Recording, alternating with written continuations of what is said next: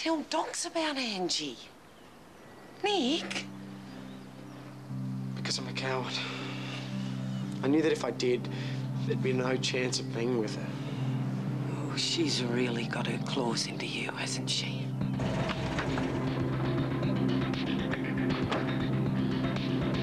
Angie! Irene, what's the matter?